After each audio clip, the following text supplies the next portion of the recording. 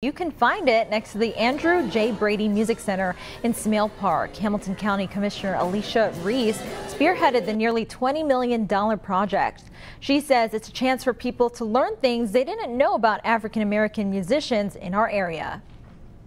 Why was it so important for you to push for the Cincinnati Black Music Walk of Fame to happen?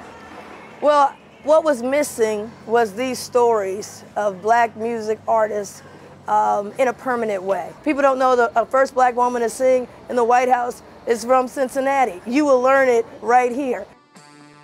The exhibit includes an augmented reality installation that lets you appear to perform alongside Black Music Walk of Fame members Bootsy Collins and Penny Ford. You can even get a keepsake video sent to your phone.